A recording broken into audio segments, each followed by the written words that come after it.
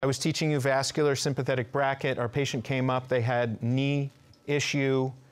So now if I'm treating the knee pain and inflam inflammatory, the diagnosis is L3, according to the dermatome chart. If I'm treating the patient for vascular regulation in the knee, it's that T10 through L2.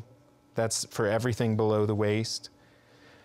Um, so that's what I did. I did T, I don't know, I did some two needles around T10 and L2 for the bracket.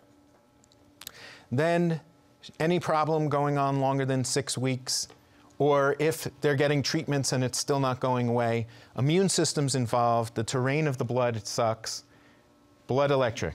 Then if they come in and they have pain, LI4 or a global analgesic point.